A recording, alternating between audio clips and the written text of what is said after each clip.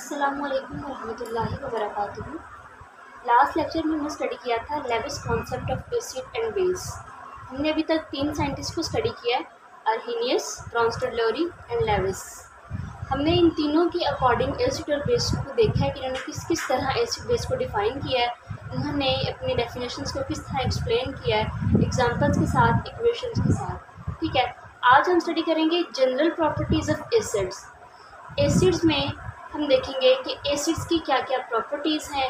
Acid जो है, वो किन के साथ रिएक्ट करता है और फिर उसका मैकेनिज़्म क्या होता है, उसका प्रोडक्ट क्या मिलता है हमें और उसके रिएक्शन का जनरल सा हम मैकेनिज़्म भी इसमें स्टडी करेंगे। आज हमारा लेक्चर है लेक्चर नंबर ट्वेल्व हम इसमें स्टडी करने वाले हैं जनरल प्रॉपर्टीज़ ऑफ़ एसिड्स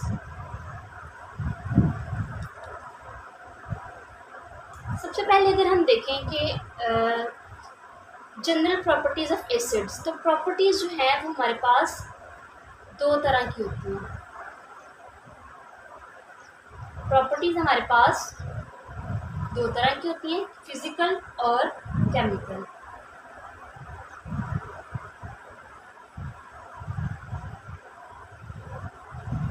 ठीक है?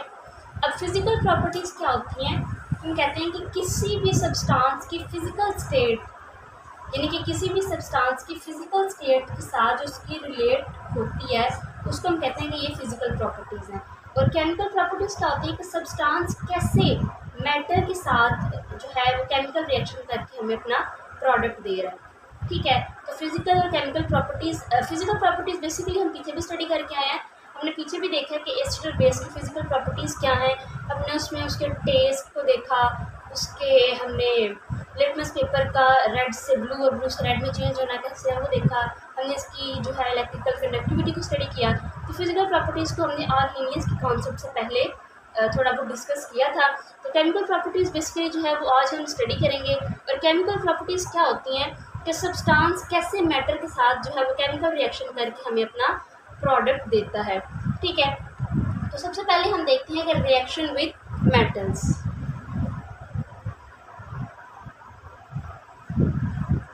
जब एसिड्स रिएक्ट करते हैं मेटल के साथ।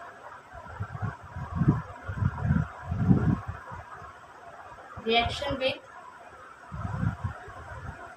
मेटल्स ठीक है? तो यहाँ पे हमारे पास तीन तरह की बेसिकली मेन रिएक्शन हैं।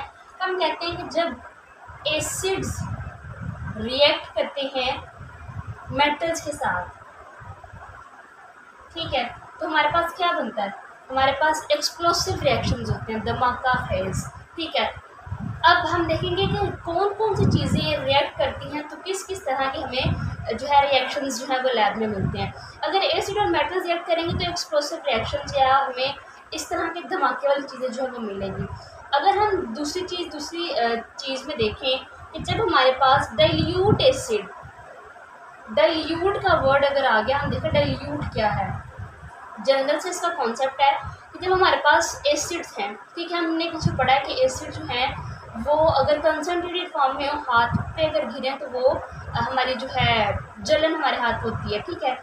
तो डाइल्यूट और कंसनट्रेटेड ये दो चीज़ें हैं। डाइल्यूट वो होता है, दोनों में क्या होता है कि अगर एसिड की हम बात कर रहे हैं तो एक कंसनट्रेटेड फॉर्म है उसकी डाइल्यूट फॉर्म है। तो डाइल्यूट में क्या होगा कि हमारा एसिड जो है वो कम क्वांटिटी में होगा, ठीक है? और उसमें जो वाटर है वो ज़्यादा होगा। वाटर ज़्यादा होगा और एसिड कम क्वांटिटी में होगा। कंसनट्रेटेड जो होता है ना कंसनट्रेटेड उसमें जो हमारा एसिड होता है ना वो ज़्यादा क्वांटिटी में होता है और जो उसमें वाटर या सॉल्वेंट होता है ना, वो कम होता है। तो एसिड की क्वांटिटी किसमें ज़्यादा है? कंसनट्रेटेड में ज़्यादा। तो ये ज़्यादा कंसनट्रेटेड फॉर्म है। अगर ये हमारे हाथ पे गिरे तो ज़्यादा हमारा जो है वो हाथ डैमेज हो सकता है, हमारी स्किन जो है वो बर्न हो सकती है। डाइल्यूट में भी होता है, लेकिन डाइल्यूट में क्या होता है, हमारे पास के एसिड जो है ना, वो कम क्वांटिटी में होता है और जो हमारा सॉल्वेंट होता है ना, वो ज़्यादा होता है। तो ये बेसिकली कंसनट्रेटेड का और डाइल्यूट का हमारे पास छोटा सा कॉन्सेप्ट था। अब सेकेंड कंडीशन हम कह रहे हैं कि जब हमारे पास डाइल्यूट एसिड्स होते हैं और एसिड कौन सा हाइड्रोक्लोरिक एसिड और सल्फ्यूरिक एसिड ठीक है? तो ये जब डाइल्यूट एसिड्स होंगे तो हमारे पास इधर एक्सप्लोसिव था, इधर हमारे पास मॉडरेट रिएक्शन होता है। कौन सा रिएक्शन होता है? मॉडरेट ठीक है? अब तीसरी बात हम करते हैं कि जब मेटल्स और एसिड्स मेटल्स और एसिड्स आपस में रिएक्ट करते हैं तो हमारे पास क्या बनता है? हमारे पास सॉल्ट्स बनते हैं, ठीक है? और हमारे पास हाइड्रोजन गैस ठीक है। हम पढ़ रहे हैं रिएक्शन विद मेटल्स हम एसिड की प्रॉपर्टीज़ को स्टडी कर रहे हैं। हमने एसिड और मेटल्स को जब रिएक्ट कराया तो एक्सप्लोसिव हमारे पास जो है वो हमें प्रोडक्ट मिला। डाइल्यूट एसिड अगर हम यूज़ करें हाइड्रोक्लोरिक और सल्फ्यूरिक हमारे पास मॉडरेट हमें जो है वो रिएक्शन मिला। अगर हम मेटल्स और एसिड को रिएक्ट करें हमारे पास साल्ट और हाइड्रोजन गैस हमें एज अ प्रोडक्ट मिलती है। ठीक है। अब आगे हम बात करते हैं अपने पहले रिएक्शन की। तो रिएक्शन विद मेटल्स अगर देखें तो यहाँ पे लिखा हुआ है आपकी बुक पे कि acid react explosively with metals like sodium potassium and calcium ठीक हो गया? हाई हाउ डाइल्यूट एसिड्स यानी कि हाइड्रोक्लोरिक एसिड और सल्फ्यूरिक एसिड ये रिएक्ट करते हैं मॉडरेटली विद रिएक्टिव मेटल्स अब मॉडरेट में क्या क्या हमारे पास उन्होंने एग्जांपल्स दी हुई हैं? मैग्नीशियम है जिंक है आयरन है और एलुमिनियम है। ठीक है? तो ये उन्होंने है रिस्पेक्टिवली हमें मेटल्स दी हुई हैं। क्लियर अब हम बात करते हैं जिंक जब रिएक्ट करता है सल्फ्यूरिक एसिड के साथ। अब हम बात करते हैं जब हम रिएक्शन करवाते हैं अपना जिंक का एसिड के साथ। जिंक एक मेटल है, ठीक है? हम यहाँ पे यही पढ़े हैं कि रिएक्शन विद मेटल्स तो मेटल जो है हमारे पास जिंक है और एसिड्स की प्रॉपर्टीज़ जो कि हम स्टडी कर रहे हैं तो एसिड हमारे पास क्या होगा? हमारे पास एसिड हम यहाँ पे यूज़ कर रहे हैं, वह है सल्फ्यूरिक एसिड तो सल्फ्यूरिक एसिड और जिंक जब मिलकर रिएक्शन करते हैं तो हमारे पास क्या हमें चीज़ मिलती है और उसका मैकेनिज्म क्या होता है, हम यहाँ पे स्टडी करते हैं।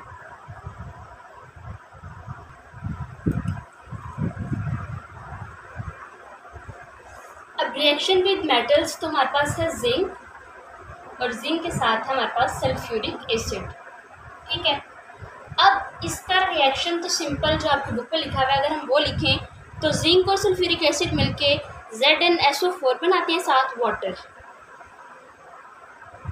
यानी कि जिंक सल्फेट ठीक है जिंक सल्फेट और साथ में वो हाइड्रोजन गैस अब इसका अगर मैकेनिज़्म देखें तो मैकेनिज़्म के लिए हमें सल्फ्यूरिक एसिड का ओपन स्ट्रक्चर लिखेंगे और जिंक का देखेंगे, इसमें क्या रोल है, कैसे चीज़ें आपस में जो है वो रिएक्ट कर रही हैं और कैसे हाइड्रोजन गैस जो वो यहाँ से एटमॉस्फेयर में रिलीज़ हो रही है।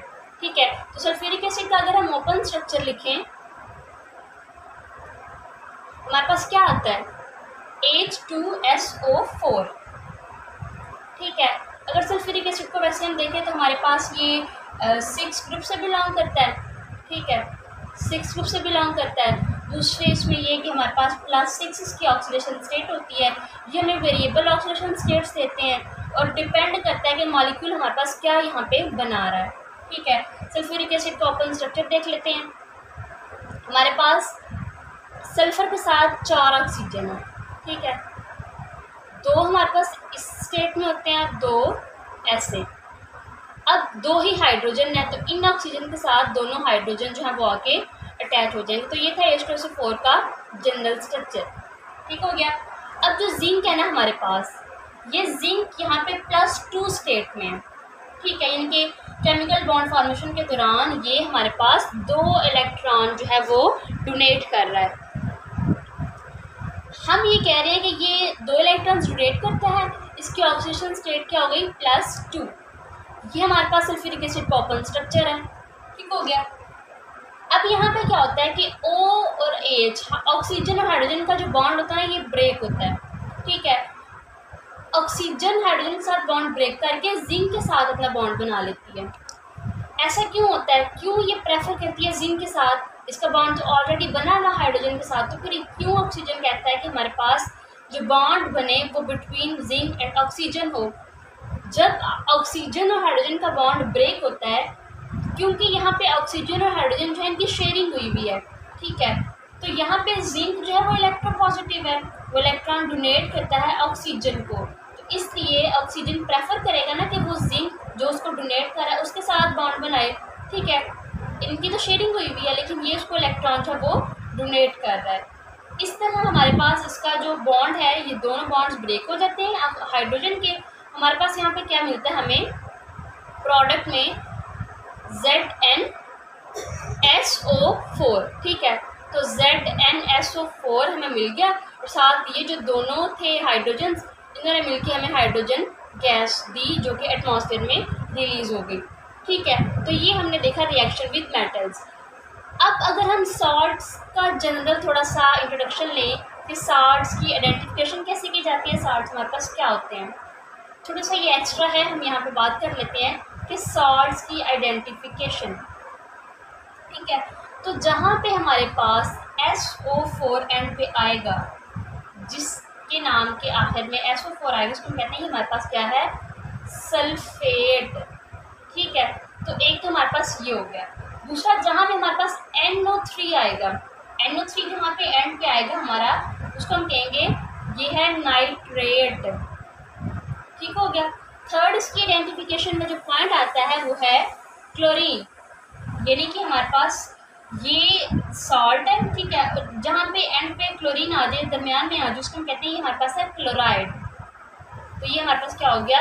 क्लोराइड सल्फेट नाइट्रेट और क्लोराइड ये जहाँ पे लग जाएँगे यानी कि वहाँ पे हमारा क्या मौजूद है? सॉल्ट मौजूद है. ठीक है? अब जब भी कोई बेस या कोई एसिड रिएक्ट करते हैं ना सल्फ्यूरिक एसिड के साथ। किसके साथ सल्फ्यूरिक के साथ कोई भी बेस या कोई भी सॉल्ट जब रिएक्ट करते हैं तो हमारे पास सल्फेट वहाँ पे बनता है। ठीक है? अब सॉल्ट्स की आइडेंटिफिकेशन तो की। अब जनरल से हम सपोज़ करके रिएक्शंस लेके देखते हैं कि उसमें जो प्रोडक्ट बन रहा है एक्चुअली वहाँ पे कौन सा सॉल्ट हमारा प्रेजेंट है? ठीक है? तो पहला हम देखते हैं sodium two molecules of sodium जब रिएक्ट करते हैं विद सल्फ्यूरिक एसिड ठीक है तो हमारे पास क्या बना? Sodium sulphate. ये वाला Na2 जो है, ये Na2 और SO4 प्लस क्या बचा? H यानी कि हाइड्रोजन गैस अब ये हमारा सॉल्ट बना है। इसको हम किस तरह नाम देंगे? सोडियम जो मेटल है, उसको हम पहले लिख लेंगे। सोडियम और एसोफोर मैंने कहा है कि जहाँ पे लास्ट पे एसोफोर इसको हम क्या कहते हैं? सल्फेट तो ये क्या नाम हो गया? सोडियम सल्फेट ठीक है? तो सोडियम सल्फेट यानी कि इस ग्रुप की तो हमने रिएक्शन से देख लिया कि जहाँ पे एसओ फोर आएगा, उसको किस तरह हम नाम देंगे? पहले हम मेटल लिखेंगे, फिर हम उसका सल्फेट जो नाम है एंड पे वो लिखेंगे। दूसरा रिएक्शन देखते हैं, हमारे पास है कि अगर हम नाइट्रिक एसिड का रिएक्शन कराएँ पोटेशियम हाइड्रोक्साइड के साथ। एज एन थ्री का पोटेशियम हाइड्रोक्साइड के साथ। तो क्या बनता है हमारे पास? पोटेशियम नाइट्रेट, ये पोटेशियम ये नाइट्रेट के एन ओ थ्री क्या बचा? दो हाइड्रोजन। तो ये दो हाइड्रोजन हमारे पास एटमॉस्फेयर में जो गैस हाइड्रोजन गैस है, ये रिलीज़ हो गई।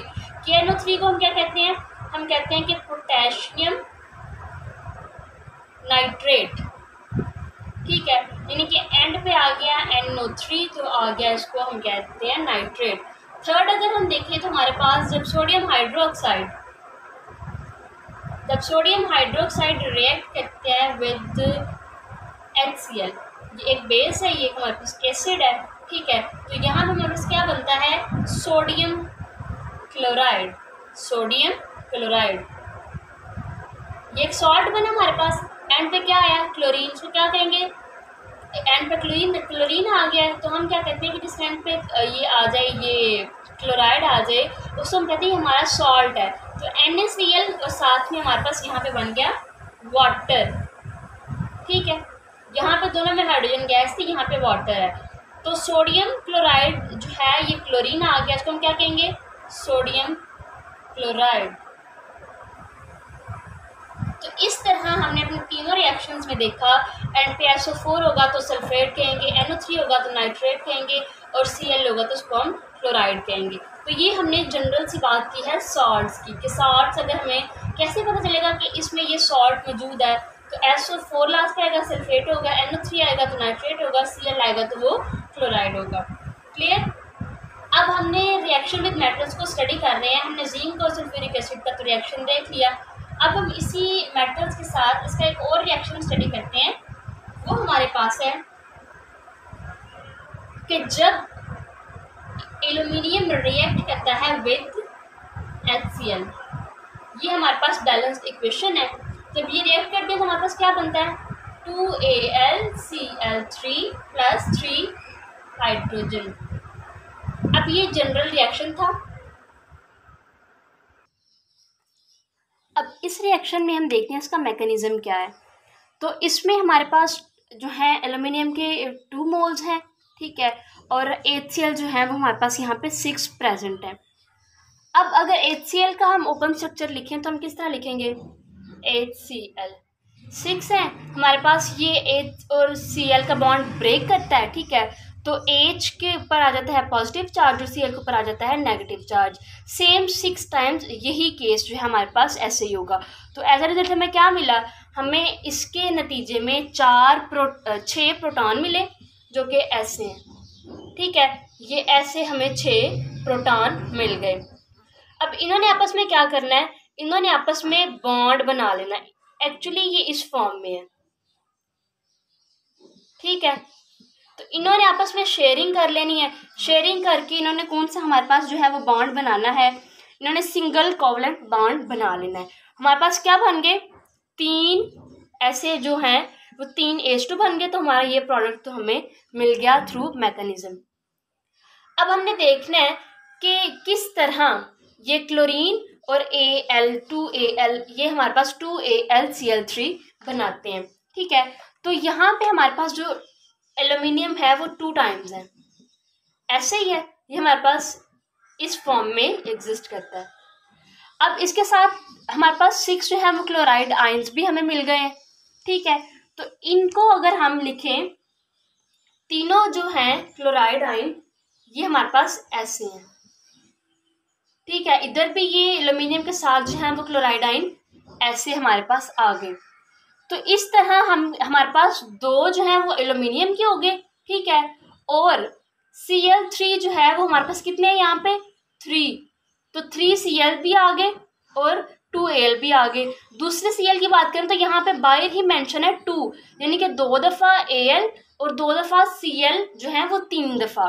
तो दो दफ़ा सी एल तीन दफ़ा भी हो गए और दो दफ़ा ए एल भी हमारे पास हो गया।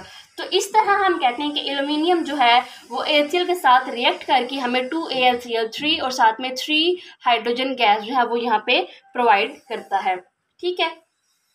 अब अगला रिएक्शन हम देखते हैं reaction with carbonates and bicarbonates तो कार्बोनेट्स और बाइकार्बोनेट्स क्या होते हैं? सबसे पहले तो इसको देखते हैं। कार्बोनेट्स और बाइकार्बोनेट्स की आइडेंटिफिकेशन कैसे की जाती है?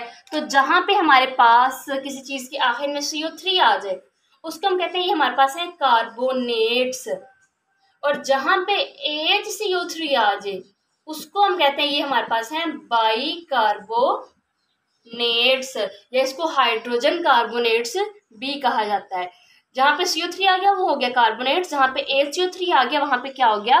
बाइकार्बोनेट्स अब रिएक्शन है एसिड्स का कार्बोनेट्स के साथ और बाइकार्बोनेट्स के साथ। हम ऐसे इजिंग के साथ जैसे पढ़ के आए हैं रिएक्शन लिखेंगे, उसको ओपन स्ट्रक्चर लिखेंगे और साथ देखेंगे कौन कौन सी चीज़ आपस में रिएक्ट कर रही है, कौन सी इलेक्ट्रॉन डोनेट कर रही है और हमारा प्रोडक्ट जो है वो हमें किस तरह मिल रहा है। ठीक है? तो रिएक्शन विद कार्बोनेट्स और बाइकार्बोनेट्स में जो चीज़ें आपस में रिएक्ट कर रही हैं, वो कौन सी हैं? हमारे पास acid react with carbonates and bicarbonates to form corresponding salts with the evolution of carbon dioxide तो यहाँ पे चीज़ें जो हमें मिलती हैं, हमें एक तो सॉल्ट मिलता है, एक कार्बन डाइऑक्साइड और एक वाटर के मॉलिक्यूल्स एज अ रिज़ल्ट हमें क्या क्या रिसीव होता है? सॉल्ट सी और वाटर ठीक है? इन तीन चीज़ों को हम देखेंगे कि हमारे पास प्रोडक्ट में ये तीन चीज़ें मिली हमें। सबसे पहले है कैल्शियम कार्बोनेट अब चूँकि ये सीओ थ्री आ गया तो कार्बोनेट है तो कैल्शियम कार्बोनेट हो गया। कैल्शियम कार्बोनेट जब टू मोल्स ऑफ़ एच के साथ रिएक्ट करता है तो हमारे पास बनता है calcium chloride calcium chloride plus C plus water यानी कि हम ये कह रहे हैं, एक सॉल्ट है, एक सीओ टू है और एक वाटर है। अब इसका अगर हम मैकेनिज्म स्टडी करें तो हम क्या करते हैं कैल्शियम कार्बोनेट के स्ट्रक्चर को ओपन करके लिखते हैं। सी के साथ तीन ऑक्सीजन है। एक, दो, तीन। ठीक है? अब ये जो है, ये इस फॉर्म में है। जो कैल्शियम है कैल्शियम बिलोंग करता है ग्रुप टू से। तो ये दो इलेक्ट्रॉन जो है, वो अपने डोनेट करता है, इसका चार्ज हो जाता है प्लस टू अब इसने क्या करना है कि इतने, इसने दोनों ऑक्सीजन को अपने इलेक्ट्रॉन जो है वो डोनेट करने हैं। दूसरी तरफ़ एचसीएल का अगर देखें तो एचसीएल और एचसीएल ये बॉन्ड ब्रेक करता है तो इसके पास पॉजिटिव ये नेगेटिव ये पॉजिटिव और ये नेगेटिव चार्ज गेन कर लेता है। ठीक है क्लोरीन क्या करता है? क्लोरीन यहाँ पे जो है वो अपने जो है इलेक्ट्रॉन्स शेयर करता है। इनके क्लोरीन जो है वो अपनी तरफ़ इसको पुल करता है और उसका जो है वो चार्ज नेगेटिव हो जाता है हमारे पास। अब हमने ये बात कर ली कैल्शियम ग्रुप टू से बिलोंग कर रहा है और वो दो इलेक्ट्रॉन है, वो अपने डोनेट कर रहा है। तो जब अपने दो इलेक्ट्रॉन्स डोनेट कर रहा है तो हमारे पास जो दो यहाँ पे क्लोरीन के ये दो प्रोटॉन्स बने थे, इसमें से जो एक होगा ना, वो आके रिएक्ट करेगा, इसके साथ और ये आपस में अटैच हो जाएँगे। अटैच किस तरह होंगे? कि H O C double bond O O negative clear अब इसके पास नेगेटिव चार्ज है। ठीक है? तो ये नेगेटिव जो है, ये यहाँ पे हमारे पास ख़त्म हो जाता है। नेगेटिव चार्ज था प्रोटॉन आगे इसके साथ अटैच हुआ, ये नेगेटिव चार्ज हमारा ख़त्म हो गया। क्योंकि इसने बॉन्ड बना लिया with oxygen and oxygen and hydrogen negative charge तो था, जैसे प्रोटॉन के साथ आके अटैच हुआ नेगेटिव चार्ज हमारा ख़त्म हो गया। हमारे पास जो चीज़ बनी वो ये बन गई। ठीक हुआ।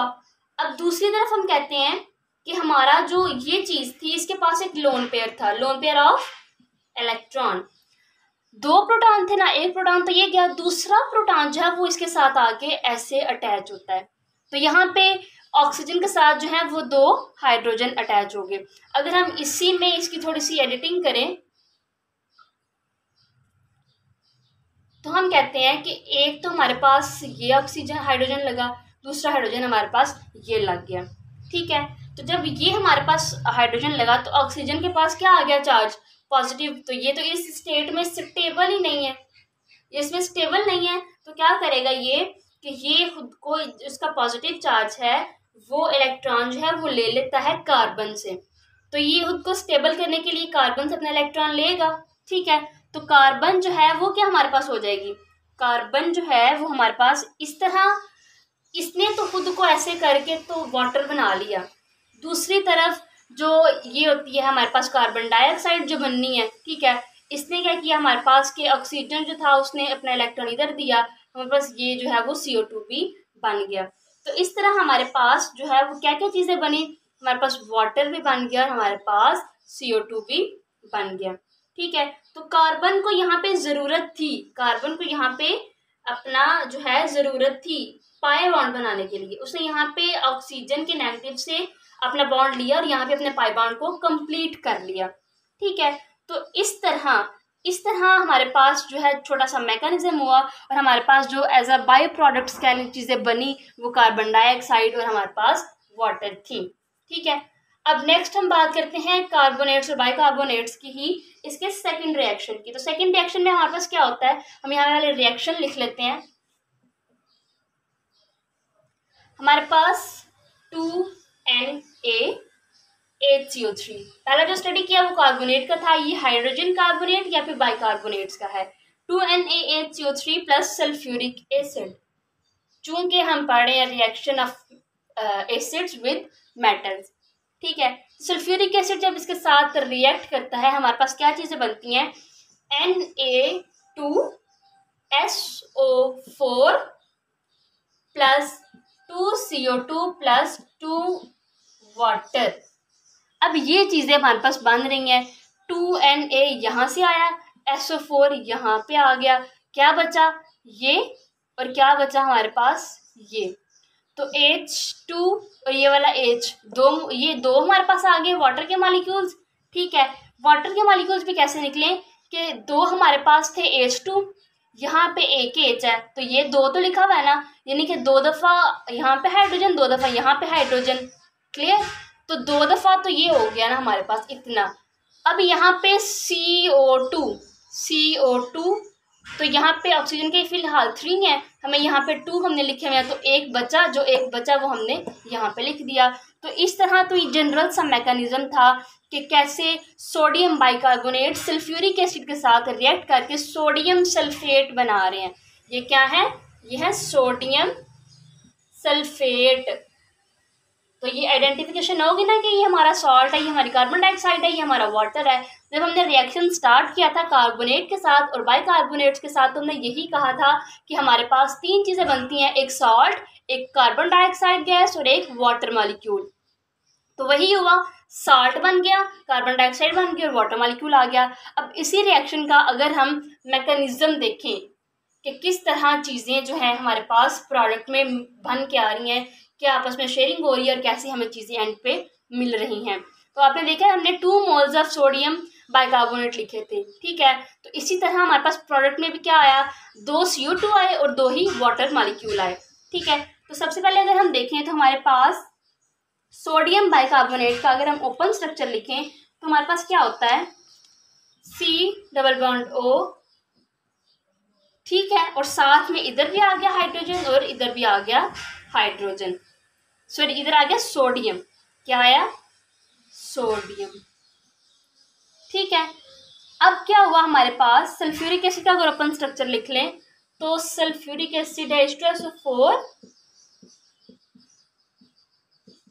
ये। बेसिकली इनके दरमियान में बॉन्ड है, जिसने यहाँ पे ब्रेक होना है। ठीक है तो ये बॉन्ड यहाँ से ब्रेक हुआ और वो बॉन्ड यहाँ से ब्रेक हुआ। ये सोडियम बाइकार्बोनेट हो गया, ये हमारे पास सल्फ्यूरिक एसिड हो गया। क्लियर अब इसका ये बॉन्ड जो है, हम एंड पे दो दो चीज़ें बन रही हैं। दो सी टू है, दो वाटर मालिक्यूल्स हैं। हम यहाँ पे इकट्ठा कर लेते हैं, दोनों को ब्रेक करते हैं और देखते हैं कि ये चीज़ कैसे ब्रेक होती है, यहाँ पे आती है, कैसे इसका जो है, वो अगला प्रोसीजर जो है प्रोसीड हो रहा है। और इसी तरह फिर जो है, इसके केस में भी सेम वही प्रोसीजर वही मैकेनिज्म जो है, वो फॉलो होगा। तो यहाँ पे क्या हुआ कि ऑक्सीजन का और हाइड्रोजन का जो बॉन्ड था, वो ब्रेक हुआ। यहाँ पे एडिटिंग कर लेते हैं। ब्रेक हुआ तो क्या हमारे पास आ गया ऑक्सीजन के ऊपर? नेगेटिव चार्ज आ गया। ठीक है। तो हमारे पास ये जो प्रोटॉन था, जिसने एच के ऊपर पॉजिटिव चार्ज आया, इस ऑक्सीजन के पास था लोन पेयर तो जो यहाँ से प्रोटॉन निकला, वो इस लोन पेयर के साथ यानी कि इसने उसको डोनेट किया तो इसके साथ आके वो अटैच हो गया। ठीक है। तो जब अटैच हुआ तो हमारे पास क्या चीज़ आई? N A O C double bond O O के ऊपर हमारे पास आके लग गया है। ऑक्सीजन और साथ उसके एक ओ के साथ लग गया हाइड्रोजन और साथ हमारे पास एक और हाइड्रोजन मौजूद है। तो यहाँ पे जब कोई चीज़ डोनेट करती है तो उसके पास क्या चार्ज आता है? पॉजिटिव तो यहाँ पे पॉजिटिव चार्ज आ गया ऑक्सीजन के ऊपर। ठीक है, अब ऑक्सीजन ने क्या करना है? ऑक्सीजन इस स्टेट में स्टेबल है नहीं, उसने ये बॉन्ड जो है उसको ब्रेक कर लेना है। ठीक है तो हमारे पास क्या बना? ओ के, यहाँ पे हमारे पास दो लोन पेयर्स थे। ये एज और ये एज एज तो हमारे पास वाटर मालिक्यूल था, वो तो बन गया। अब देखने का दूसरी स्टोरी क्या है कि सी हमारे पास जो है वो कैसे बन रही है और सोडियम स्टिल इसके साथ अटैच है। सोडियम किस तरह इधर से जो है वो ब्रेक होगा और कैसे हमारा जो प्रोडक्ट है, वो किस तरह हमें यहाँ पे मिल रहा है। तो हम कहते हैं कि वाटर तो हमें इस तरह जो है वो मिल गया। दूसरी चीज़ ये है कि जब हमारे पास ये ऑक्सीजन था ऑक्सीजन का और सोडियम जो है ऑक्सीजन जो है ना बेसिकली वो यहाँ पे उसको तरस आ जाता है इस पे। वो यहाँ से सोडियम के साथ बॉन्ड अपना ब्रेक करता है, ठीक है? तो यहाँ पे क्या बच गया? एन ए पॉजिटिव ये बॉन्ड ब्रेक हो गया। जैसे ही ये बॉन्ड ब्रेक हुआ, हमारे पास ऑक्सीजन के ऊपर क्या चार्ज आ गया? नेगेटिव वो इसको देगा तो हमारे पास जो है कार्बन जो है, वो अपना पाई बॉन्ड पूरा कर लेगी। तो कार्बन के ऊपर पहले ही डबल बॉन्ड हुआ था, इधर भी डबल बॉन्ड हुआ हो गया। तो ये हमारे पास सी भी बन गया। अब जो ये सोडियम था इस सोडियम ने कहाँ जाना है? इस सोडियम ने हमारे पास ये जो ऑक्सीजन था, जहाँ से हमने इसकी, यहाँ से पैकेज भी की, यहाँ से भी की तो यहाँ से की थी वो प्रोटॉन तो चला गया। इसके पास वो आ गया, इधर फिर ये हमारा पॉजिटिव चार्ज आया था, उसने खुद को स्टेबल करना था, उसने ये बॉन्ड ब्रेक किया तो ये वाटर बना। और दूसरी तरफ़, यहाँ से सोडियम ऑक्सीजन का बॉन्ड टूटा, ये नेगेटिव दोबारा यहाँ पे शिफ्ट हुआ सी बन गया। अब ये जो सोडियम बचा एन ए पॉजिटिव इसने अगेन इस ऑक्सीजन के साथ रिएक्ट करना है, जिसके ऊपर पॉजिटिव नेगेटिव चार्ज है तो ये पॉजिटिव और नेगेटिव जो है वो आपस में जो है, एक मिलके बॉन्ड बना लेते हैं। ठीक है? तो इस तरह हमारे पास जो है, हमारा इसका मैकेनिज़्म जो है, वो स्टार्ट हुआ और इस तरह उसकी आपस में शेयरिंग हुई। किसने किसको लोन पे डोनेट किया, कहाँ पे क्या अटैच हुआ, वो किस फॉर्म में गया, वो स्टेबल थी या नहीं थी, ये सब हमने जो है, वो सोडियम बाइकार्बोनेट के रिएक्शन में स्टडी किया। ठीक है? तो आज जो हमने स्टडी किए हैं, वो हैं फ़िज़िकल प्रॉपर्टीज़ दो तरह की हैं केमिकल और फ़िज़िकल वो क्या होती हैं? केमिकल प्रॉपर्टीज़ हमने बेसिकली आज स्टडी करनी थी। उसमें हमने देखा कि हमारे पास पहले रिएक्शन था मेटल्स के साथ, फिर कार्बोनेट्स का और बाइकार्बोनेट्स का। हमने इनका जनरल सा मैकेनिज्म समझा और जनरल से इसके रिएक्शंस थे, वो हमने यहाँ पे स्टडी किए। नेक्स्ट क्लास में हम स्टडी करेंगे एसिड के ही एसिड की ही जनरल प्रॉपर्टीज़ उसमें हम स्टडी करेंगे जो रिएक्शंस वो हमारे पास हैं। Reaction with bases and reaction with sulphides and bisulphides ठीक है, फिर हमारे यहाँ पे रह जाएँगे एसिड्स के यूजेस वो हम नेक्स्ट लेक्चर में स्टडी करेंगे। अल्लाह हाफिज़।